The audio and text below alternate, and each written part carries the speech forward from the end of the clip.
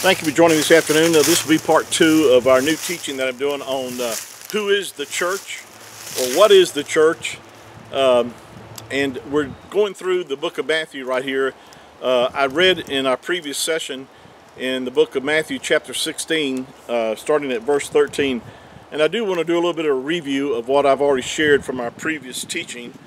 And um, but in verse 13 it says, When Yahusha came unto the coast of Caesarea Philippi, he asked his disciples, saying, Whom do, do men say that I, the Son of Man, am?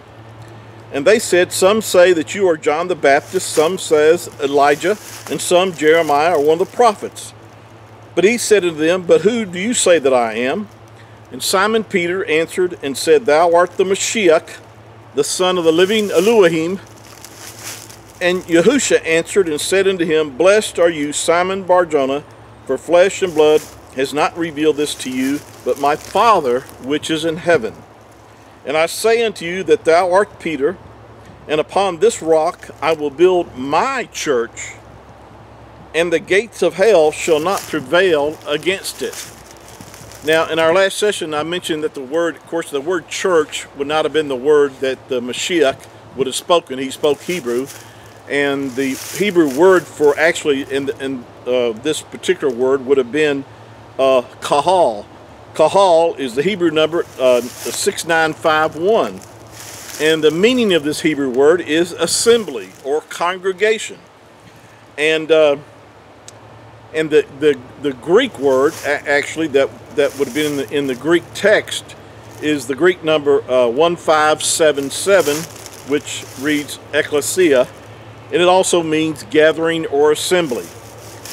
But the point is that this is what the word means. I know a lot of people have a hard time with the word church. I've seen I've seen some posting on uh, YouTube and and uh, on the internet uh, people making fun of the word the, the English word church because of its origination I think even from the word circus or something and so you know I understand all that I understand that that uh, it was not the word used by the Mashiach but the but the meaning of the word in Hebrew would have would have been and is meaning uh, gathering the gathering uh, I mean the assembly or congregation of believers. It's a it's a it's a gathering together of the set apart ones. But this is the Messiah or the Mashiach said that this is his assembly that he would build and that he would build it upon the revelation of who he was because he said that thou art uh, Peter or Kepha, and upon this revelation I will build my church or my assembly. I will build my assembly. Now, the reason I'm, I'm, going into detail about this is because a lot of people have a hard time understanding the other scriptures, um, and they get they get uh, uh, different types of people mixed up with the church. You know, Yahuwah actually deals with basically, um, he deals with the, the natural seed of Abraham, the Yahudim, the Jews. He deals with them. He's got a covenant through them, through the natural seed of Abraham. But there's a spiritual seed of the Yahudim.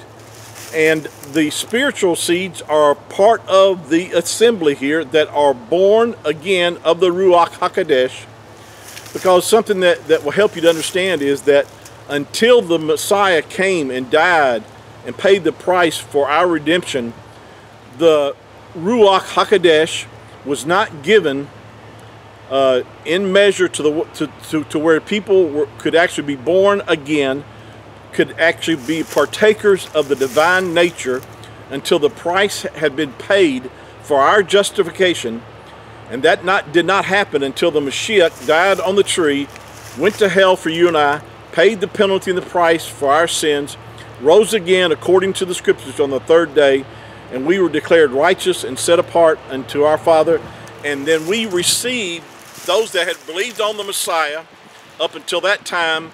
If you remember in the book of Acts, they Yahusha appeared unto them and breathed on them and said, Receive ye the Ruach HaKodesh. It was given to the disciples. The 120 that there, he breathed on them and they received the Ruach HaKodesh. they received, they were born again at that point.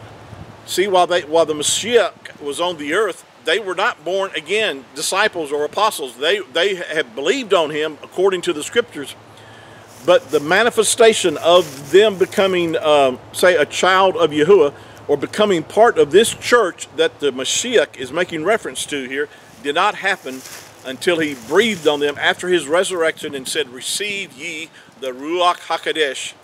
And they, they received the gift from the Father. It is the gift from the Father to those that believe on the Messiah.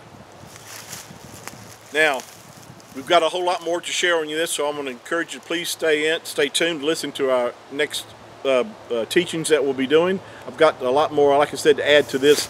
I know you may have questions, but the more clear that you have of who the church is, uh, when the scripture talks about that, then you, then other scriptures will really make more sense to you. That you'll have a greater understanding about the second coming of the Mashiach. You'll also have a, a better understanding of the catching up of the believers. When Paul wrote over in First Thessalonians, talking about that uh, that uh, that that we would be caught up to meet the Mashiach in the air. We're going to talk about that because if you understand who who the church is, then you'll understand better about these end time events that are about to take place. Thank you again for your time. Please share this with others. And uh, just know that Yahuwah loves you, I love you, and until next time, shalom.